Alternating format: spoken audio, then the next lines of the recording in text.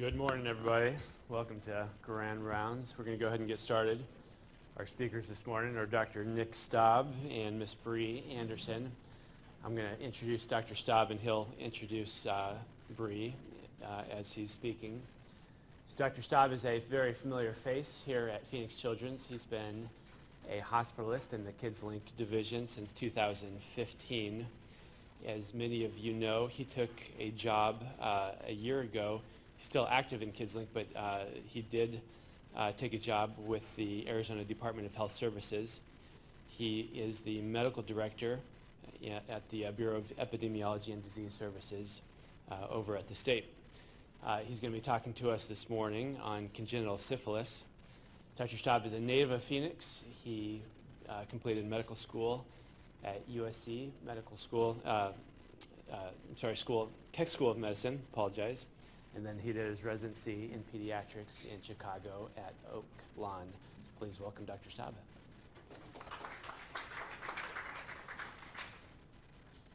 Good morning. Um, I hope more people filter in. Um, so thank you, Micah. Uh, this is a topic uh, that ever since I went to my job at the state um, has consumed a fair amount of my time um, and taken me to kind of some far-flung uh, spots in the state, um, talking about the syphilis epidemic that we're experiencing, um, and then specifically the cases of congenital syphilis that we're seeing increasing as the outbreak changes its demographics. So um, I'm very excited to talk about this today. I harassed Micah for a couple months uh, to get on the schedule. Um, so uh, this is uh, a timely subject and one that I think is really important for pediatricians in Arizona to know about.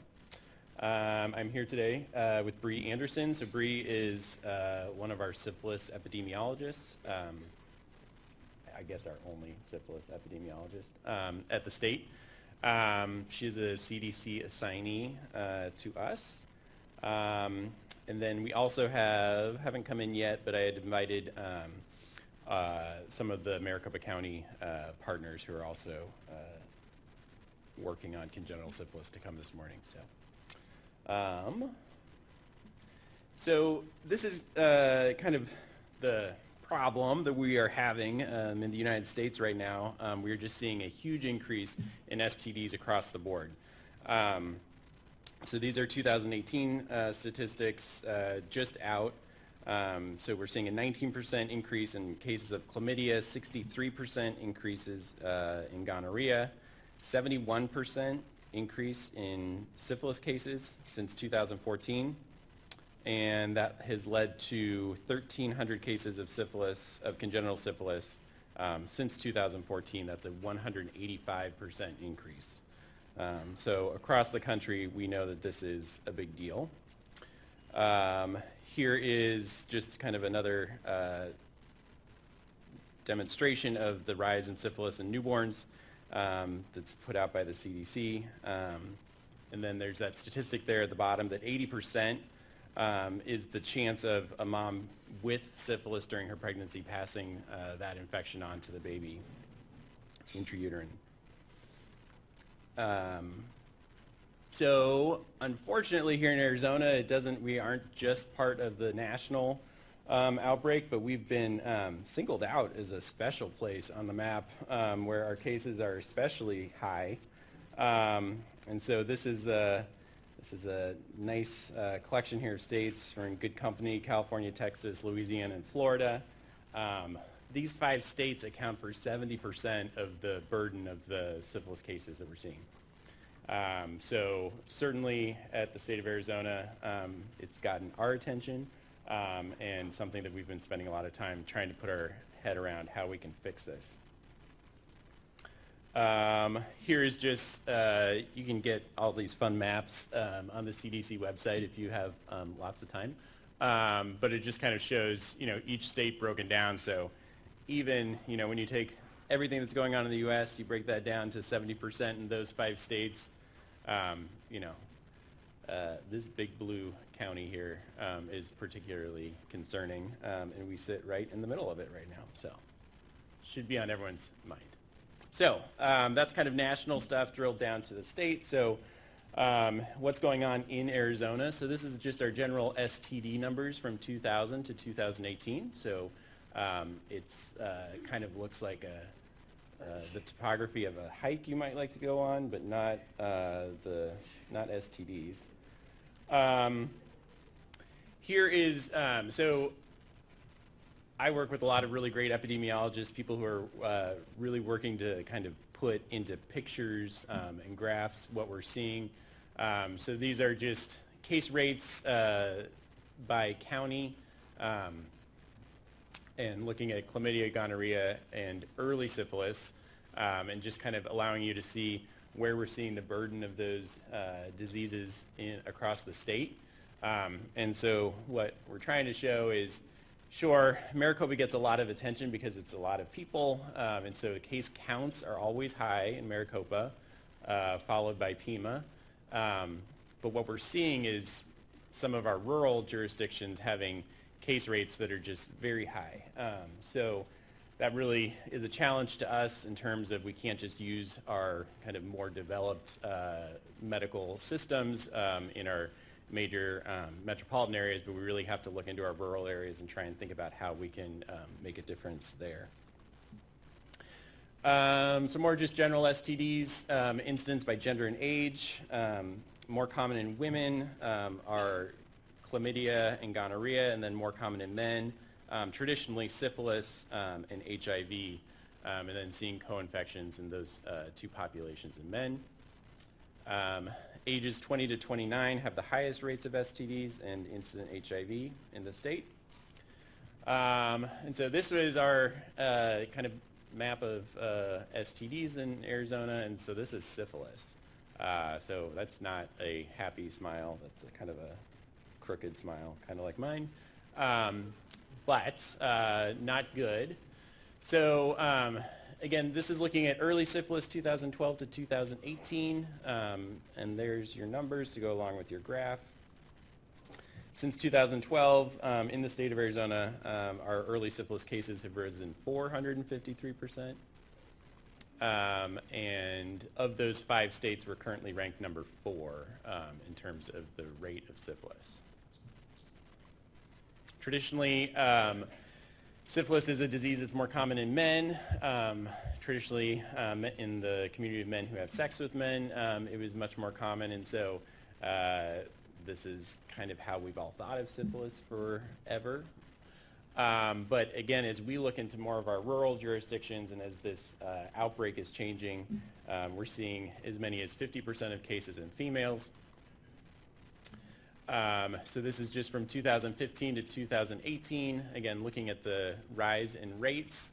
Um, and kind of as we, again, looking at more of our rural jurisdictions, um, getting a little shaded, shaded a little darker. Um, here's our gender ratios. So again, just as that ratio flips from um, males to females, again, uh, these are kind of outliers here because these are very small uh, population counties. Um, but you can just see kind of blur your eyes and you can see it. Um, and then um, obviously our uh, rates in infants. Um, so the major concern in that demographic switch and having more females um, affected, um, I always kind of flippantly say, I don't really care if adults get syphilis. Um, they can go get tested, they can be treated, it's fairly easily treated. Um, and we can, be, we can counsel them on how to avoid being reinfected. Um, that's great, but our problem is as those demographics switch is the females becoming infected um, and then increases in congenital syphilis. So these are our, um, these are our counts um, from 2014 to 18. Um, so again, you don't really have to blur your eyes to see that they're going up. Um, and then our um, case fatalities are also increasing. again, these are uh, cases here, one, two, three, four, five plus. Um, so again, just showing um, as you go out um, where those cases are. They're not just in Maricopa County. They're not um, limited to our metropolitan areas. Um, they're in our rural areas as well. Um, so 2018, we knew we had a problem. Uh, 63 total cases of congenital syphilis, uh, including eight stillbirths and two infant deaths. in 2018, in September, as an agency, we declared uh, a syphilis outbreak, um, which allowed us to kind of change some of the traditional ways that we were um, recommending that pregnant women be screened for syphilis. Um, and then this is so far in 2019. Um, so we don't have a handle on it yet. Um, and Bree is still counting cases. She does it every day and lets me know. Um, but uh, we are definitely uh, still dealing with this and kind of in it deep. So the question is, where are the gaps in preventing congenital syphilis? Um, so we have noticed that 77% of moms um, who deliver babies with congenital syphilis um, have seen uh, a provider uh, 30 days prior to delivery. So again, when we uh, declared the outbreak, we kind of changed our recommendations in terms of screening for pregnant women. Um, and one of those recommendations is to screen pregnant women three times in pregnancy. So at their first um, prenatal visit, um, in their, at the beginning of their third trimester, and then again at delivery. If I got that wrong, I was going to be in trouble. Um, so again, that, that late, um, we know that even moms who screen positive and are treated early in pregnancy, that there's a high likelihood in the setting of this um, outbreak that they become reinfected during pregnancy. Um, so if we're not getting that uh, second uh, screen in pregnancy, where we tend to uh, miss uh, a lot of these cases. Um, so a third of congenital syphilis cases in Arizona um, could have been prevented through third trimester uh, screening. So we're really trying to get this message out, um, try and talk to OB groups and make sure that we're um, following those recommendations. Okay. So I'm going to take a little bit of, I have a lot of slides here. Um, so this, the next set is just kind of going back over syphilis. So maybe, um, I mean, I think everyone can kind of use a review of syphilis. We just don't see it that often. Um, so I might glance over some of these. This can be used as a resource if you ever want it. Um, but what I'm interested in getting to is at the end we'll talk about um, kind of categorizing and treating congenital syphilis cases. So syphilis, spirochete, it's a really cool organism. It's a spiral. Looks like it should be at a party. Um, probably is at a party.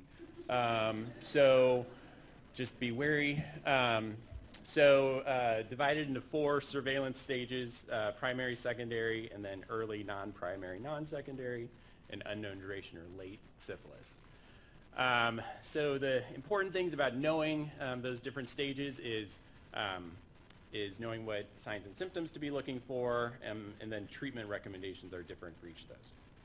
So again, primary syphilis is the first sign of the infection. Um, you can find spirochetes uh, on the bodies, in the bodies of these people. Um, so here's just a patch on the tongue. Um, apparently if you were to swab that and throw it under um, dark field microscopy, you would see all sorts of those um, buggers. So they're there. Um, they are often um, on the penis and the vagina. A primary chancre of syphilis is a non is a non-painful, painless uh, lesion, and so unfortunately they often just go undetected. Um, and so um, whether it's oral, penile, uh, labial, they won't be, um, this is like their most highly infectious stage. Um, and they often don't know it. So it doesn't make things very good from controlling an outbreak and, and intervention. Um, secondary syphilis is when a patient will often come to presentation because they recognize this rash, which really could be anything. Um, notably, the rash of syphilis involving the palms and soles. Um, and so that can be a giveaway, but otherwise the rash really isn't, um, other than they will notice that they have a rash. Um, again, they can have um, some more of these kind of mucus uh, patches uh, that can appear um, anywhere on the mucous membrane, so tongue um, as well. so you can kind of look for those. and then they often have just kind of ill symptoms, right? So they can have flu, they can be feverish, uh, just not feel well. Um, the nice thing about secondary syphilis is there's a good number of symptoms that a patient may remember historically. So when you're going to try to stage them, uh, you want to find out when that secondary syphilis uh, stage occurred um, in order to kind of lock them down in what stage they're in. So again, you want to kind of say, did you have a period of febrile illness, rash, that kind of stuff. A patient might be able to remember that and say like, oh yeah, that happened a couple weeks, a month ago. Um, So but then from secondary, you go into your early latent phase. So this, so all your symptoms go away, you feel totally fine. Uh, you can go along with life uh, doing nothing but just getting ready to spread your syphilis. Um, and then after a year's time after your infection, you go into what we um, call late latent. And that can persist um, for the rest of your life um, if you're never treated. Um, so we have a convenient syphilis staging flowchart. Um, this is available from your friends at the Arizona Department of Health Services if you wanted it. Um, all these are available on the internet. Um, I can show you that. But essentially, you're going back to those signs and symptoms that are present during, um, during uh, primary and secondary uh, stages of infection. Again, for primary, you're, ask, you're asking, do they have that painless, indurated, clean base lesion, that primary chancre of syphilis? If yes, then that's primary syphilis. Um, if you're having signs and symptoms and there are any of those signs of secondary syphilis, so again, generalized rash, uh, you can have patchy alopecia, so hair loss, uh, those mucus patches, uh, if yes to any of that, then you have secondary syphilis. That's the easy part. Um, the difficult part for us, um, whether we're uh, diagnosing a primary or a person who's just coming to clinic or whether you're um, meeting a mom in clinic and trying to determine what uh, stage she is so that she can be treated before um, she passes the infection on to her baby, um, is again really looking at the past 12 months and seeing if they are able to give you any of this information. So if they've had a negative syphilis test um, in the past 12 months, then that makes them that makes them early. If they've had known contact to an early case in the last 12 months, again, early latent. Um, good history of those typical signs from secondary infection. A fourfold increase in titers. So again, we'll get in quickly to um, testing here, but when you're looking at a um, non-treponemal test like an RPR or a VDRL, you're looking for a fourfold increase in that titer um, to indicate a, an acute infection in the last year. Um, and then if your only possible exposure, which I can't really imagine anyone telling you that, but it's possible, uh, was in the last year, then that's early latent. All else goes into this bucket of unknown duration or late. So it's really easy. Uh, you can all figure that out. So the other um, difficult thing is um, you can go from an early latent infection um, back into secondary, so you can develop those secondary signs again. Um, that might be hard to distinguish. Um, again, if, if somebody's been treated or not completely treated, but then redevelops signs or gets reinfected, things can get a little messy there. Um, and then from late latent infection, you go into tertiary, um, which are kind of your late signs of syphilis infection. So this is what is uh, called a gummatous lesion um, of tertiary syphilis. Um, neurosyphilis classically is kind of thought of as a late um, sign of syphilis infection, but really can occur at any stage. Um, you can have meningitis. Um, you can have ocular um, involvement, uh, otic, uh, hearing loss, tinnitus, um, and then your late clinical signs, and then obviously referring to the appropriate subspecialist if you develop any of those signs. Um, syphilis can affect every organ system in the body. Um, nothing is, uh, is off the list. Um, the other irritating thing for us from a congenital syphilis standpoint is transmission of syphilis can occur at any stage um, to the fetus. Um, so we know that during primary and secondary um, phases, the mom is kind of most infectious, so we have the highest risk of transition, transmission. Um, but even during latent uh, stages of the disease, um, mom can transmit the infection. So again, an opportunity to catch those moms um, who may not have any signs of infection um, but be in a latent stage um, and get her treated to prevent transmission. Any questions? I think I'm doing okay. All right. Um, so those were the signs and symptoms of syphilis infections in adults um, what happens to babies. Um, so many of these babies um, are born um, low birth weight. Um, we see preterm deliveries and then also miscarriage and stillbirths. You saw those uh, reflected in our statistics. But once the baby is born, they can either have no symptoms or blindness and deafness, uh, heart and liver problems, damaged skin, deformed bones, um, and then later in development have um, developmental issues and problems. Um, so again, kind of the hard part is when the baby's born, you are not necessarily going to see these things. Um, so you need to have an index of sus- suspicion. Um, the mom needs to be able to report her history of syphilis and testing. So there's a lot of areas where things could go missed. Um, prenatally, um, this can be diagnosed. Um, I don't think we see this often, um, but you can see um, hydrops on ultrasound, um, an enlarged placenta. So this, a radiologist could tell me, is an enlarged placenta, um, and then we can see some hydrops, just some extra fluid there, hepatomegaly. So these things have been noted on prenatal ultrasound, but again, not very common in what we've seen. Um, so early symptomatic congenital syphilis, again, prematurity, bone abnormalities seen in about 75 to 100%. So skeletal survey of these um, infants is an important part of their workup. Um, they can have just kind of general enlarged liver, um, elevated transaminases, jaundice, right? Um, anemia and thrombocytopenia seen on labs. Um, so some of the bony findings that you can see, um, just some general demineralization um, at metaphyses, um, periostitis and osteochondritis. So you can kind of see the raggedness there. Um, kind of late uh, findings of some of those skeletal malformations.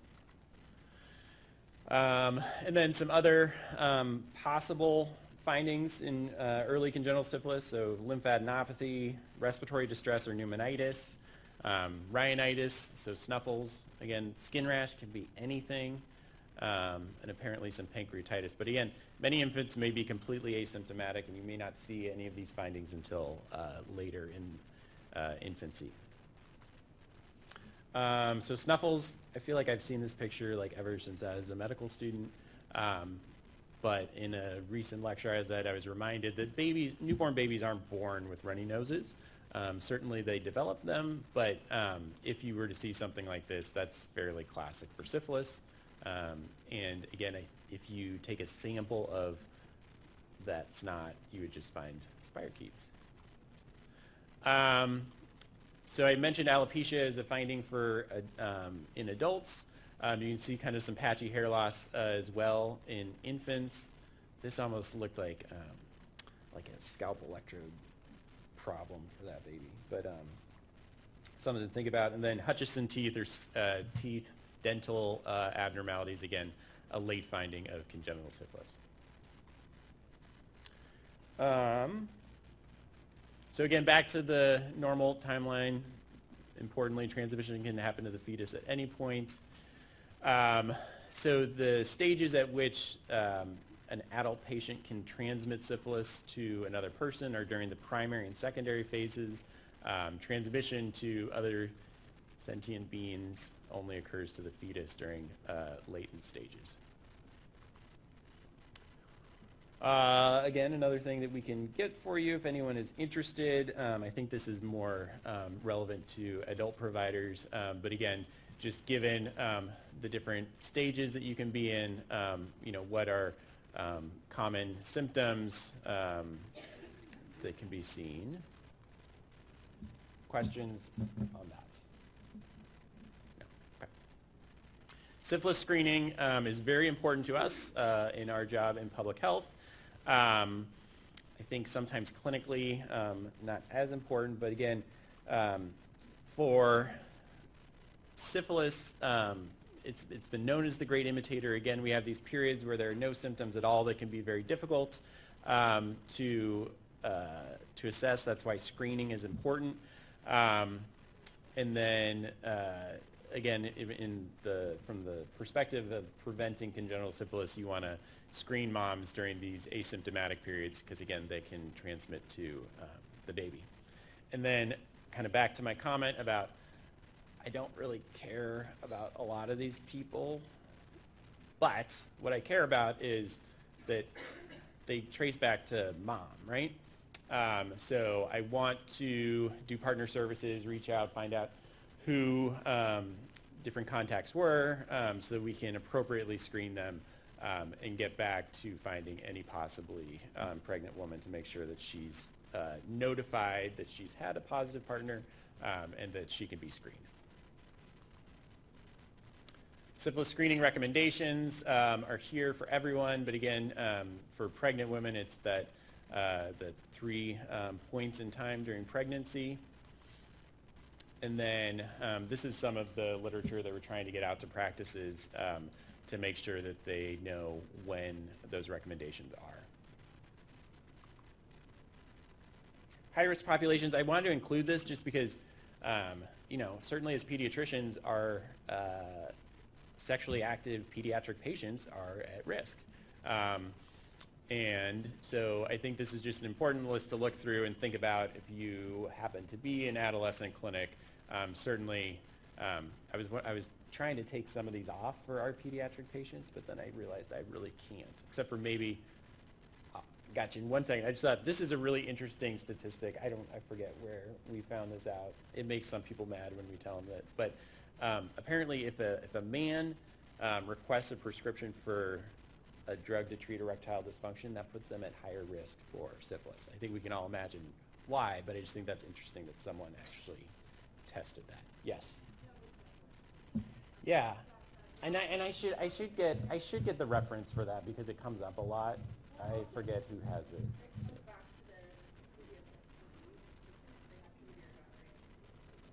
Right.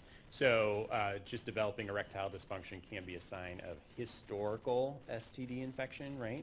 Um, so again, any history of previous STIs increases your risk for syphilis.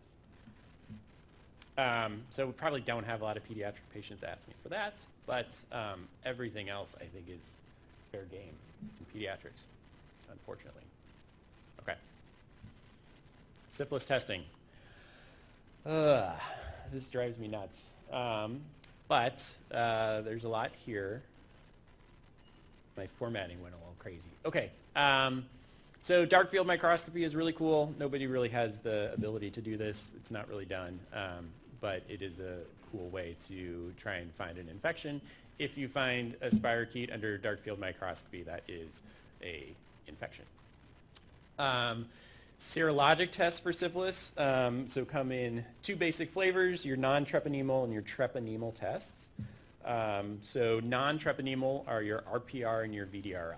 Um, so these are screening tests um, they are helpful to us because they are quantitative tests, so you get a titer, um, and we can use those. we can use serial titers um, to kind of better assess whether a patient has been treated, um, where that patient may be in infection, um, and then we can use RPRs to compare mom's titers and baby's titers to get a sense of whether a baby is truly infected or whether the baby just has has a reactive test because of mom's history of um, syphilis. Um, so again, I have a quick uh, slide coming up here just to remind us how to use titers to look, um, look at these, but um, a fourfold rise in a titer is indicative of um, inadequate treatment or reinfection. Um, and then the drop in titer um, can be shown as an adequate response. Um, RPRs and VDRLs are great, but they can't be compared one to the other. Um, so once you pick one, it's helpful to stick to it.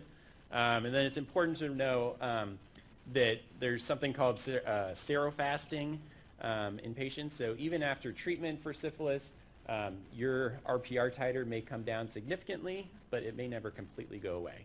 Um, and so um, this becomes an issue for Bree because some of our uh, moms who we see pregnancy after pregnancy being treated for syphilis um, are being treated for serofasting and not necessarily for a new infection. But again, sometimes that's hard to tell if you don't have a complete history. Um, so titers, again, two-fold change, four-fold change. Don't care about two-fold changes. Um, four, four, fourfolds are significant going one way or the other. Um, so again, a four-fold increase can be indicative of a reinfection. So let's say mom was serofasting at 1 to 8, um, then all of a sudden had an RPR um, and it was up to 1 to 32, that would be um, something to act upon. Again, 1 to 8 to 1 to 16, just a two-fold increase isn't necessarily um, helpful, uh, when, not something you would necessarily treat. Um, and then this is a good sign. A fourfold decrease means treatment has been successful. Um, and again, uh, she, he, whoever you're treating may just land there and stay there. All right, treponemal tests. Um, so these are specific to the bacterium um, and used generally for confirmation of the diagnosis. Um, again, these are only qualitative, not quantitative, so I can't get a titer on these. Um, once you are positive for this, you will likely be positive for the rest of your life, um, regardless of treatment. Um, so again, we can't use it to gauge treatment response.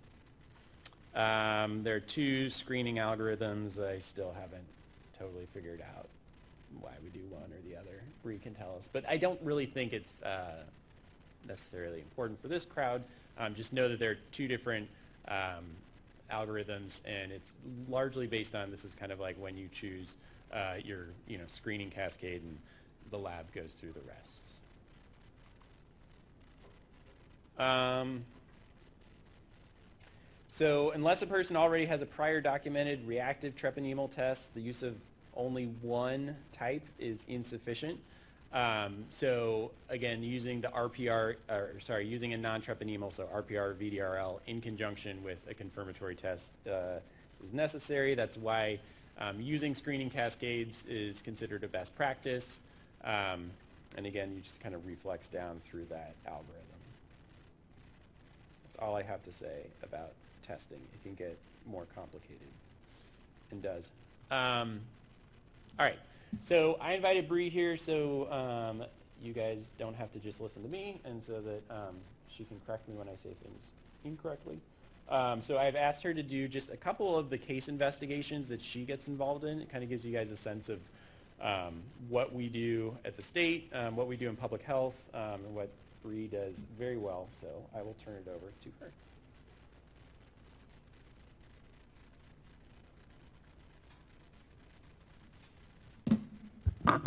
Sometimes I have to do this whole presentation, and I'm really glad I just get to do the fun part today. Um, so I'm going to walk you through a couple cases. I think one of them's at the end, and then we'll just break with this one here in the middle. Um, this first one that we're going to talk about, uh, so I guess I should tell you a little bit more about what I do at the state. Um, I get to review all of the syphilis-exposed infants every year. So last year that was about 200, give or take. They're still rolling in. We've got about 20 I think it's like 22 open still under investigation. And then we also get just quite a few more reports just as like data closeout keeps coming and people send us late labs or that kind of thing. Um, so with that, I get to see like all of the really cool cases, like where there's like some weird clinical stuff or like some weird um, stuff that went on with mom. Um, so I get to come in and talk about these. Um, so the first one that we're going to talk about today is our it's very timely because we just talked about testing. Syphilis testing is not always very straightforward. Additionally, on that other handout, if we get in a little bit more into adult syphilis, um, there's periods of times where your adult testing is not going to be very spot on. So like early in your primary syphilis infection, you might have discordant lab results. You might have only one or two tests that are positive.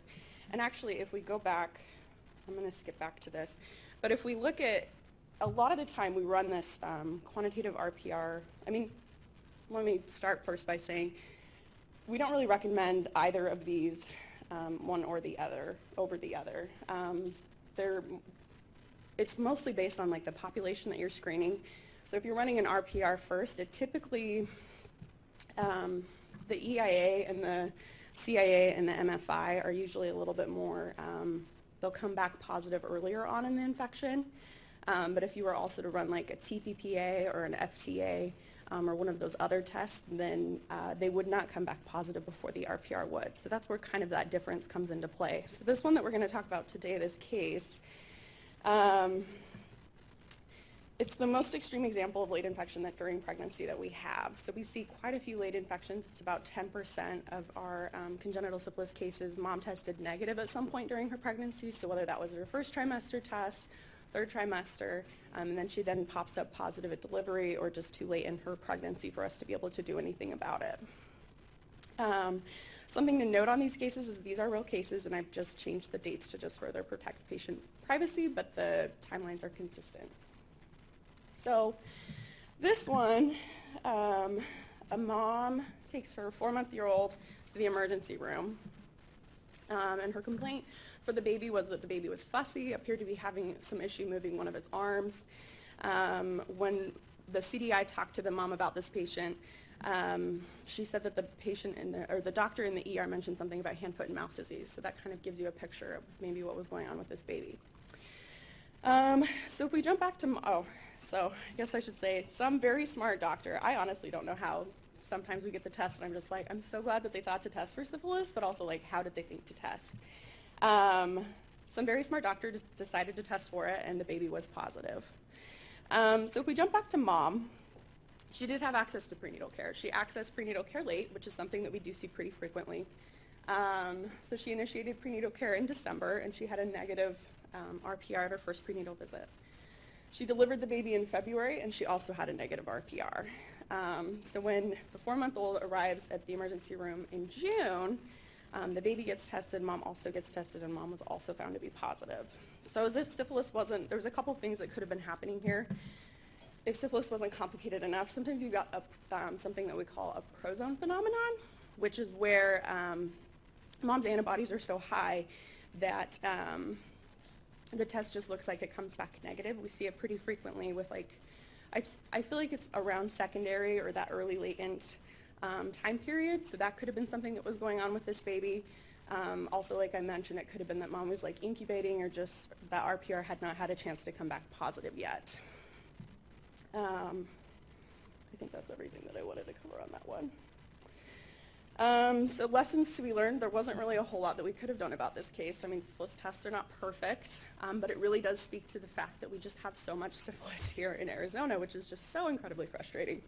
Um, it does speak to the complexities of the reinfections and the late-term diagnoses. So like I mentioned, about 10% of our cases are those late-term diagnoses. And then also with reinfections, we see about 10 to 15% of our moms right now who get, um, like they get tested and treated for syphilis, and then before they deliver, they get reinfected, and then we end up having to work up the baby. Um, so it just kind of goes back to screening and making sure that we can get it out of the community to protect these moms. I this is back to you.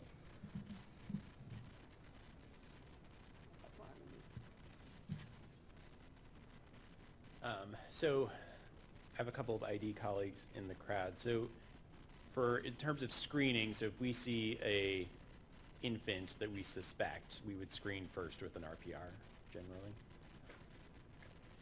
Um, Which is great because the preferable test doesn't do anything for us, really. Right.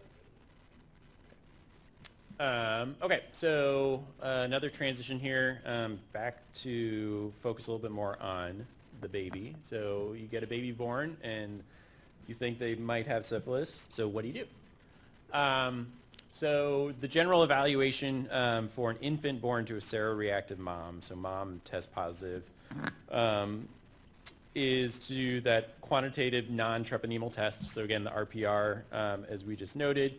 Um, it's important not to use the cord blood um, as it may be contaminated with mom's blood. Um, and then to do a thorough physical exam looking for the signs that um, I have discussed.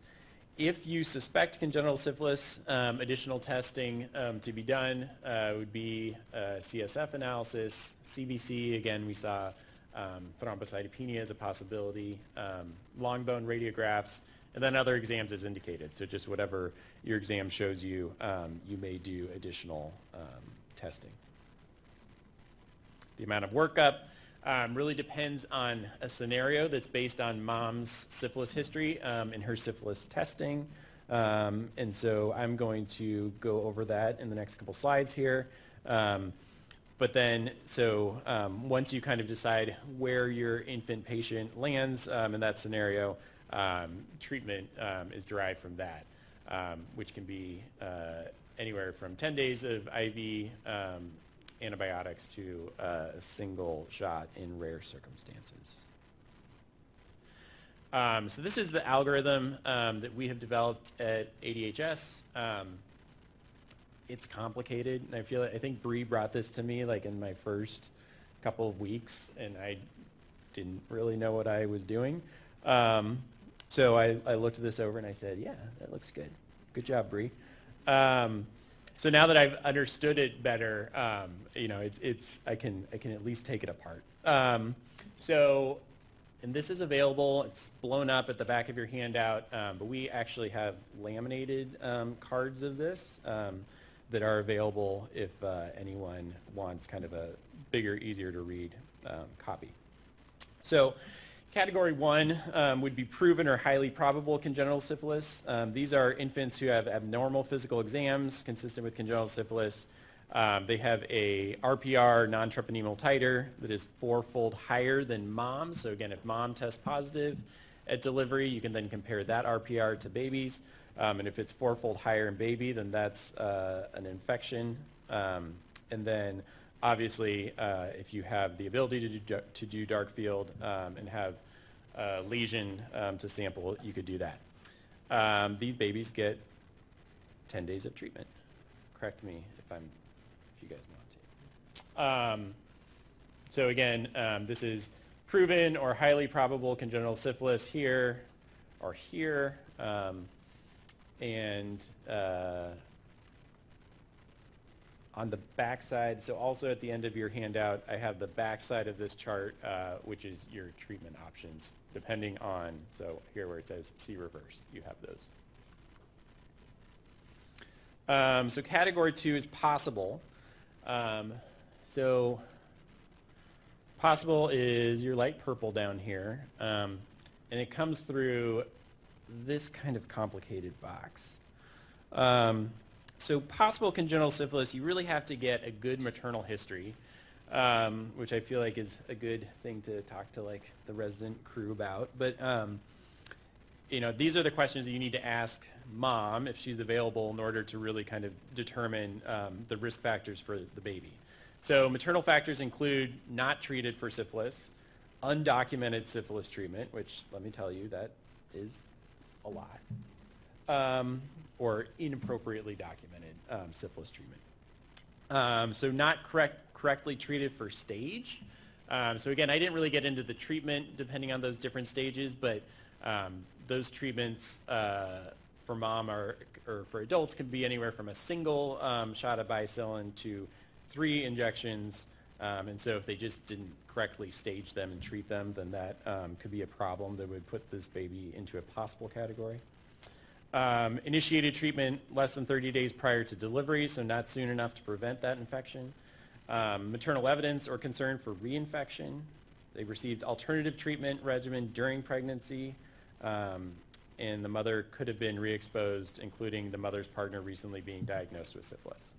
Um, so these are all the maternal factors in the setting of a baby with a normal physical exam, um, and then that RPR that is less than that fourfold um, increase.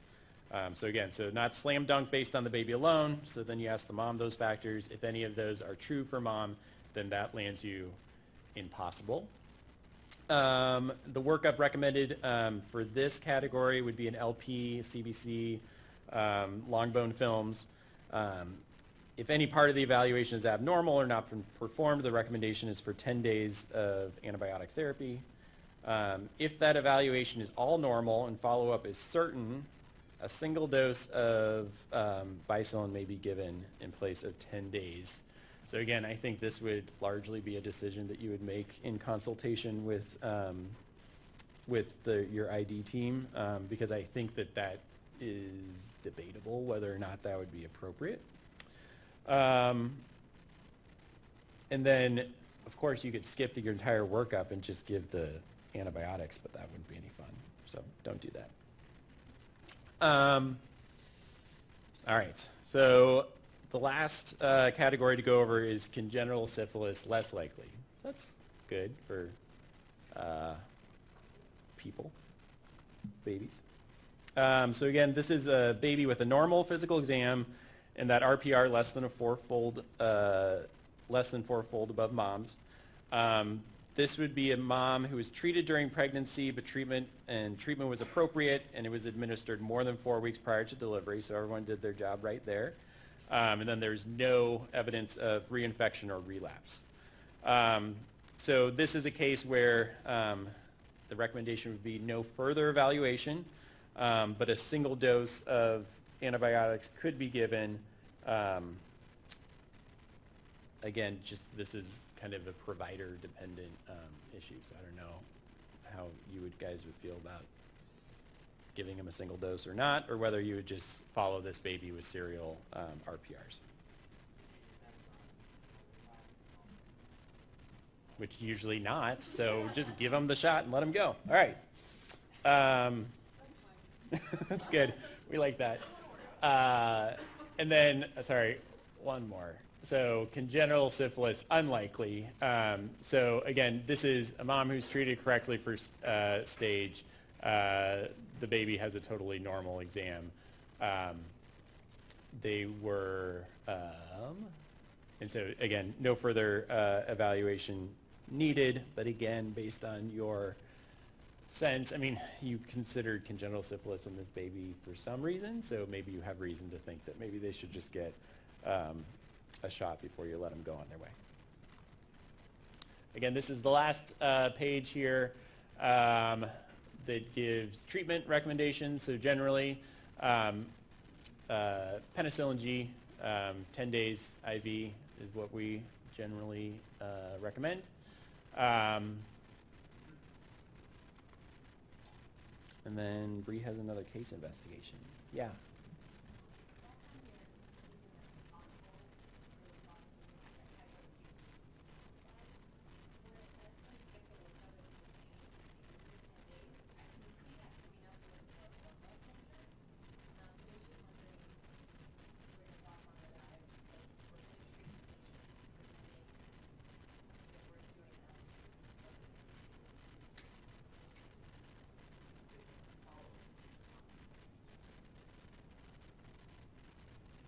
We've also got, I think it's been like two cases this year where like they were positive in the CSF and they actually had treatment failure and they had to be retreated.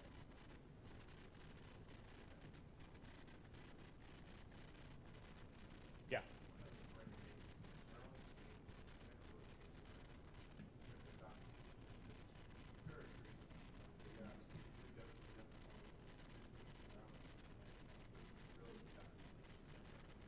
Yeah.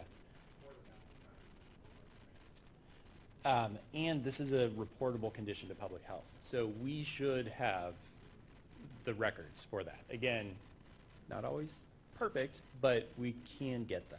We the question is, you know, do you have the records for the team? That's what it's We do. telling. Because sometimes they say that the treatment's gonna be in the office multiple times. They say it multiple times. So you have the record for the office. So we get all, so, and I'll talk about this, it's Okay. actually coming up right now. Um, so, well, yeah, I'll just jump in. So, we actually, and I'm gonna slow down, I'm sorry, I talk so fast when I get even a little bit nervous. Um, so, like next, sorry, Dr. Staab said, um, syphilis is a reportable condition here in the state of Arizona. Um, chlamydia, gonorrhea are also reportable, but with like the sheer volume of cases, they don't really get a lot of follow-up in Maricopa County. Some of our smaller counties still do follow-up on them and ensure um, that they were treated and might even elicit partners. Um, but syphilis in pregnant women or women of unknown pregnancy status is the highest priority for follow-up. Um, that being said, sometimes these women are very hard to get in contact with. Um, but we have a lot of really good people that are just very good at finding people. Um, it's kind of scary sometimes. So in the state, we have a state surveillance database that's called PRISM. Um, and it's a person-based system. So if somebody is diagnosed with chlamydia, gonorrhea, syphilis, HIV, we will be able to see all of that within their record. Um, and it doesn't matter where those came from as long as it was within the state. Additionally, the thing that's most interesting with that about syphilis is that um, we have a history of how their titers have fallen. So say that they go to clinic A and they get their blood drawn, and then they get treated at clinic B and clinic C. Um, especially since the CDIs are doing such a high volume of follow-up with these cases, that information is pretty reliable. Um, additionally, we're able to see where the clinic, like which clinic the treatment was given. So like if they, you know, had tests done here and treatment given here, um, even if like you want to double check with that provider, um, like if they got three different shots, then you would be able to do that. Um, I will say historically, we used to have it um, be an option where they could just enter three doses at one week intervals. And like you say, a lot of the time they didn't follow up for doses two and three. Um, but now we actually make sure that they validate that they actually were given those doses. Um, so we have all of that information available and you can get it from calling your local health department. You can call me too, but we have to get a fax request at the state, which like I feel like slows things down. And also, I'm almost never at my desk anymore, um, which is kind of a problem. Um, so, what else did I wanted to touch on? Um, we, the the yes, of where they live.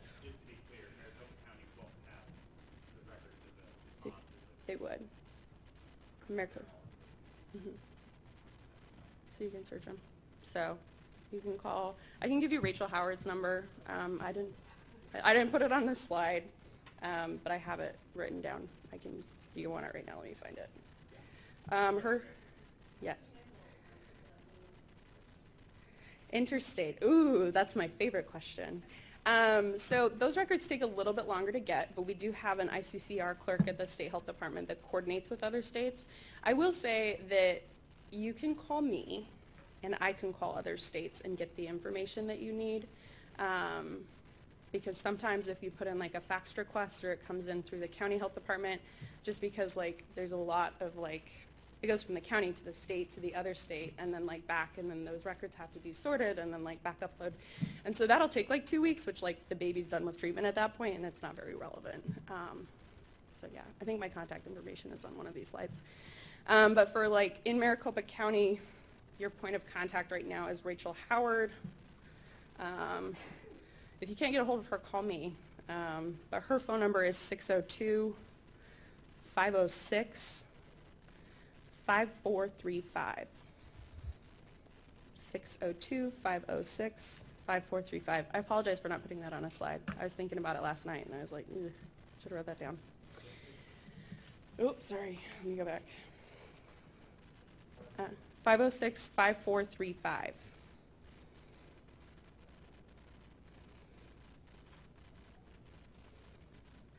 And she's great. Um, we are also doing very, I'm going to talk, I guess, a little quicker.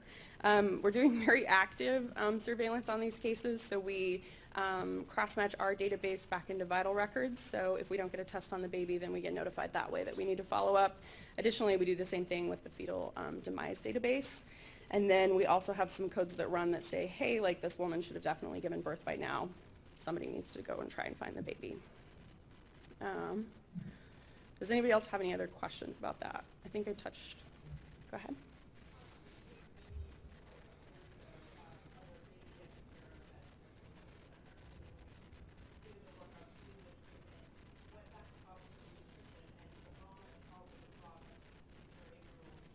Mhm.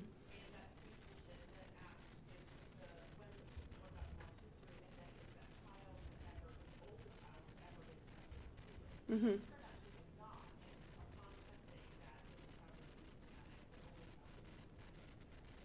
Mhm. Mhm.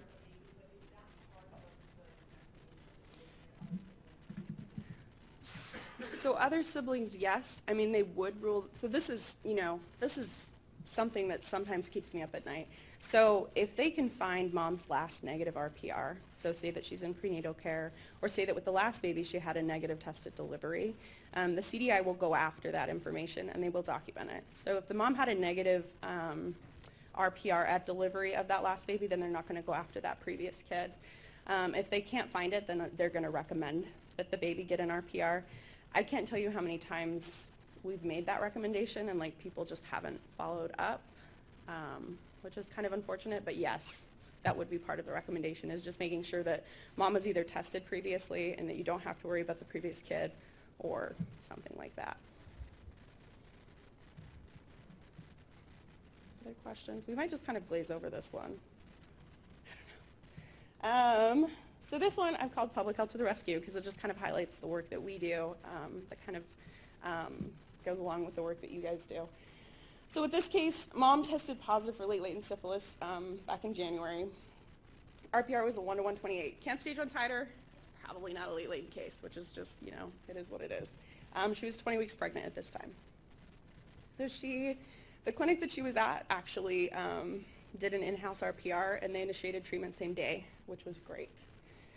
Unfortunately, mom, like many of our moms, had some barriers to completing treatment. So she, um, after a lot of hounding from public health, she reinitiates treatment in March because she never finished follow-up for the initial January um, treatment. Unfortunately, same barriers are still in place. She never gets treated completely. Um, she restarts in May again, so we've had her for five months. Could have hopefully prevented it at this point. She's had three doses, but we like them at seven-day intervals, not like one-month intervals. So anyways, um, unfortunately, this time we didn't have enough time to run this case because she delivers the baby. And um, the hospital, this is something that I hope is, I feel like it's less applicable in Maricopa County, but it is applicable here because you guys are seeing babies. I know that some of the babies get transferred somewhere in Maricopa County when they're coming from rural areas. So many of our rural providers don't know anything about syphilis, they've never seen it before. This hospital essentially was just like, baby's titer's fourfold lower than mom's, so like, let's just discharge the baby. Um, baby got discharged with foster care, and they were never notified that she had had a positive test or like that they should do any kind of follow-up. Um, so thankfully we got a test result on this baby and we didn't have to find it later. Um, unfortunately, the test result was sent out of state, so there was a little bit of a delay in getting that to us. But within 24 hours after we got the test result, the CDI calls the foster parents. Um, the baby's transported to the clinical hospital. Um, the baby ends up having positive long bone x-rays, um, and the baby gets 10 days of treatment. Um, so yeah. Um, so much of my job is just spent trying to get the baby to the hospital. And I'm just so very thankful that all of you, with all of your clinical expertise, take it from there. So, thanks. Um, and then this is just a reminder about maternal testing and treatment. And there's my contact information. If you can't get a hold of Rachel, you can call me. Or you can call Nick.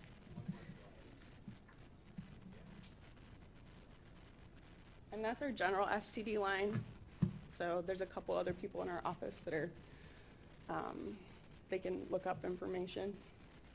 And then if you have any like non-urgent questions, you can send us an email at std at azdhs.gov, which also comes to me. How reliable is the employee system from labs? It depends on which lab it is. So if you've got LabCorp, Sonora Quest, it's pretty good. It's really good. Hospital labs, it depends on which hospital it is. So that's kind of like the, you know, sometimes we get some that are running in-house labs that like we don't get record of. So like the one that I was talking about, we know that she, like in reviewing medical records, we know that she had a positive RPR, but it was never reported to us. Um, so that is something else. Mm-hmm. Are we sure that this mom's result is a real Mm-hmm. Mm-hmm. It's kind of a problem with reportable diseases Yeah. in general. We hope they get reported. Yeah. Because if they, yeah. I don't, with chlamydia and gonorrhea, I don't think it gets reported very often. It's like- It's just like, nobody really cares anymore. But with syphilis, I mean, I feel like if they don't report it, like a lot of docs are freaked out, like freaked out enough about it that they like call and they're like, I'm gonna get this result, what do I do with it? But there's also, I mean, I have a list of hospitals, this is gonna sound bad, but I have a list of hospitals that I just know are not the best um, at reporting. Yeah, so we, well, that's kind of an estimate. So that would be the ones that we would count truly exposed. So if we go back to, like if mom has a, um, a serofast titer, um, and she was previously treated before um, becoming pregnant with this child, we would not count that child as syphilis exposed and we would not follow up. Um, as long as she was adequately treated. So seven days apart on that one. But yeah, most of them in Maricopa County, so like you're probably seeing most of them, and you're getting. I know that like, because I if it's outside, like in the rural jurisdictions, I get to do a lot of the follow up just because everyone's like, what? I don't know, um, just because they're complicated. Um, so I think you guys do see a lot of them. I mean, if any of you, so there's going to be a big push here. There is to kind of try to figure out what we can do to better to fill in some of these gaps. So if any of you are interested in being involved in that. Well, I mean, the other question is with the twenty thirty HIV and successful analysis now, I'm practice, what kind of funding is this? HIV gets funded separately, No, and but like, I mean, when you talk to the people who are running those programs, like, it's, their, their push is, even though HIV is at the forefront of what we need to be doing, that's gonna also gets funded separately STIs.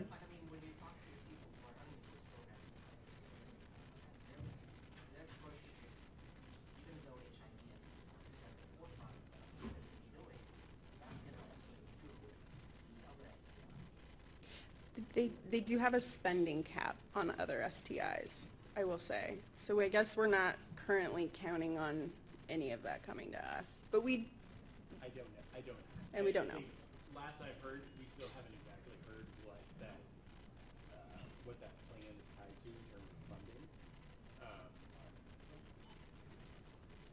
and then, I mean, I know. we talked to the people, so when they were talking about that, they said, hey, the specific people, this is, uh, funding is the, the screening and reporting. um, of other, yeah, so I know, um, so Hep C, like, so right now we're planning a, a micro elimination project with hepatitis C in our patients who are, um, HIV infected. Um, so I know that's, so I think there's a, I think there's momentum to try and take advantage of HIV funding, um, to cover some of the other infections, certainly here, um, it would make sense with syphilis, but the problem is we don't have a lot of HIV co-infections. With, with in syphilis, with, specifically in our Mitchell. In our general population, we haven't yet, um, that. I know that there's been a few other states that have had that. But for syphilis in general, I think it's like twenty-five percent of our syphilis cases, twenty, I'll have to look at it, I think it's, I think it's like twenty. I ran the number pretty recently, and it's like Of our syphilis cases, there's twenty-five percent. But I think in terms of making the argument to use that funding mechanism, you have to show the burden. I think, I don't, when it comes But to I think funding, it's I literally changing. like kind of like step. So the twenty thirteen, you know, I just said the twenty thirty, historically, like this has funding happening, that's. Well, these guys will stick around for a few more minutes. Let everybody go. Thank Thank you. you guys very much.